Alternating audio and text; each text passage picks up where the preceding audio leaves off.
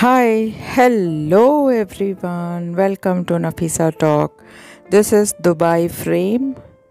Uh, this frame provides a different perspective of Dubai compared to the top of Burj, uh, Burj Khalifa, particularly the experience of walking and looking down from the transparent path of the top of the frame. This is Dubai frame and it's absolutely very very beautiful to see. It's just like a photo frame.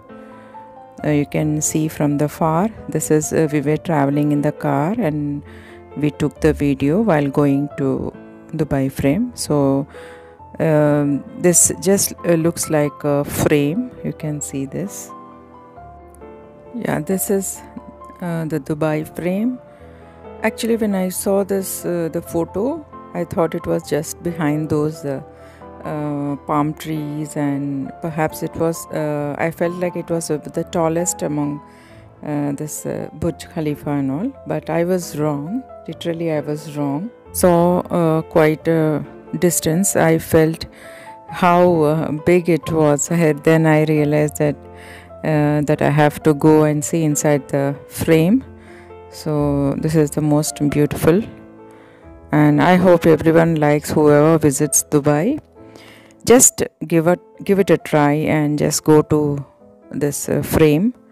Uh, then uh, you can see a lot of uh, like you can see the direction the metro station and then you can uh, reach to Zabeel park etc uh, so th- these are the places where you can go through and you can just have a look. An amazing place and i just walked around uh, the perimeter of the park along jogging track. Everything is very very beautiful there.